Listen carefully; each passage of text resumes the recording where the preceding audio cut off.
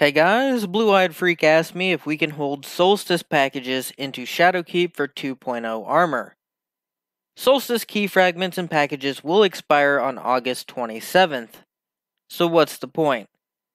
Solstice 2.0 armor with random stat bonuses instead of that curated gunsmith one.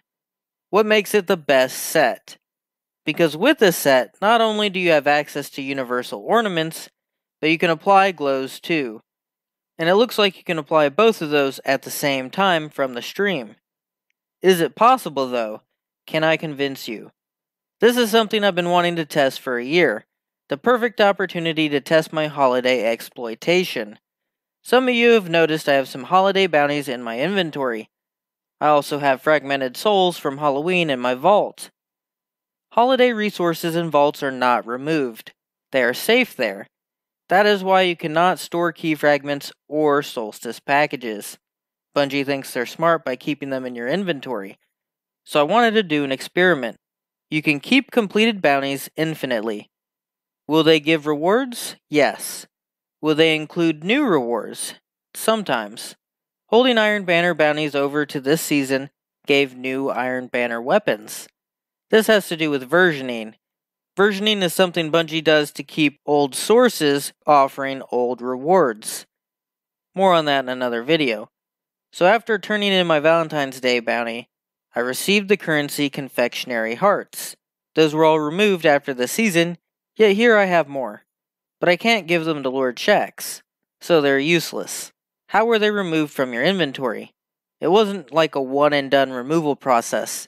There's a process that will be known as the Forbidden Check, that's performed to remove things from your inventory. We've seen this with weekly resets and the offering to the Oracle. If I go to orbit, that check is performed and I lose my hearts. The forbidden check could happen in a number of situations. Bungie doesn't want you to have that forbidden love candy. Why is this the perfect season? Because our lock and our keys are consumables. No vendor in between. So the challenge here we have is storing key fragments and the solstice packages but it won't let you store them. This is where the trick postmaster hoarding comes in handy. Things in your postmaster will not be touched by the forbidden check. This has been proven with different consumables like Leviathan keys. So our goal is to get those in your postmaster. The only problem is we already have a stack of keys and packages. Those will keep stacking. The key fragments stack up to 9,999. So to start a new stack you have three options. Either run out of keys, which would be really hard to do, hit a max stack and have a full consumables inventory when that happens, this should send all future key fragments to the postmaster, where they should be available until you want them, or the postmaster gets overwritten with a whole bunch of stuff. AFK Forge Farm can help with that, but that might be unrealistic if you don't have a lot of fragments already. So option 3, as I showed earlier, is saving Solstice daily bounties. Each offers 5 fragments, 15 for a package, so you could store up a whole bunch of daily bounties. After the event, you can load into the tower, collect those bounties, and then immediately open Solstice packages.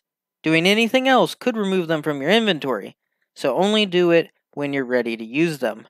Now to storing packages. Sadly, all packages in your inventory have to go, so open all of them. Then fill up your inventory with consumables. Grab a few of each planetary material, gunsmith, boons, fireteam medallions, and such, then run the European aerial zone. When you get a package, it goes to your postmaster. Now you have access to fragments and packages you can combine after Shadowkeep drops. But will that be Armor 2.0? I want to say yes. Any armor that drops after Shadowkeep will be Armor 2.0. Bungie didn't recode every armor source in the game, they just tweaked the way armor is decrypted meaning this should be Armor 2.0 as well. What's an example like this that worked in the past? Armor Masterworks. When Masterwork Armor was introduced, porting old legendary engrams into the update allowed them to decrypt into Masterwork Armor. This was confirmed by Daniel, the economy designer for Bungie. This is because the process was changed, not the loot pool. And that's how I would best describe the Armor 2.0 transition leading me to believe that all sources acquired before Shadowkeep will decode into Armor 2.0 after Shadowkeep. Now, obviously, this hasn't been possible before, so it's not a guarantee to work by any means, but all of the groundwork has been tested. All the methods line up, so do it if you want to try for a truly unique armor. I've got other hoarding videos coming too, so stay tuned for more Shadowkeep prep. Cheese forever, Guardian.